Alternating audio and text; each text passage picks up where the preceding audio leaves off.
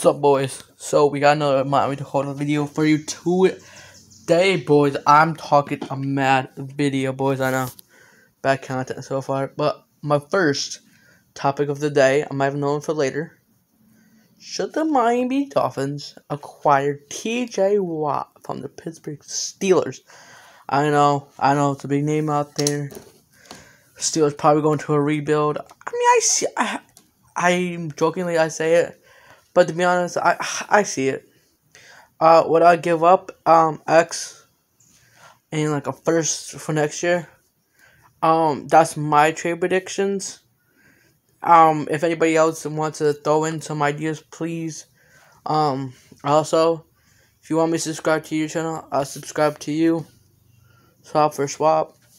Uh, another guy from the Pittsburgh says I try to acquire Devin Bush for linebacker depth He's easily better than Ginkel by so much. I mean, Bush only had two seasons, but Ginkel is not has been living up to the potential I've been seeing. Number three guy, I really want to go get, but I don't think he's a need, but it's more of depth. Diontae Johnson. I get like a fourth or a fifth. But watching a couple of his games, I see him drop a couple passes.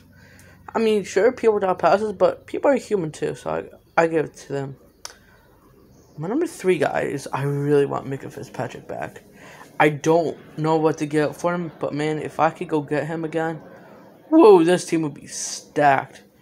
But then be moving him to corner or Jevon Holland corner, I just don't like it. I mean, right now, from what I've been seeing from Jevon Holland and Minkah Fitzpatrick, I prefer Jevon Holland because Jevon Holland is great and cheaper to where Minkah Fitzpatrick is great but expensive. He's got a four year deal, seventy three million dollars, which is a lot. You know what I mean? Um, and stuff. Tonight, I'm hoping to make another YouTube video on NFL free uh, left free agencies. Um, stay tuned for that. That might be around like five five thirty. I'll talk to you guys up, fins up, and I love you boys.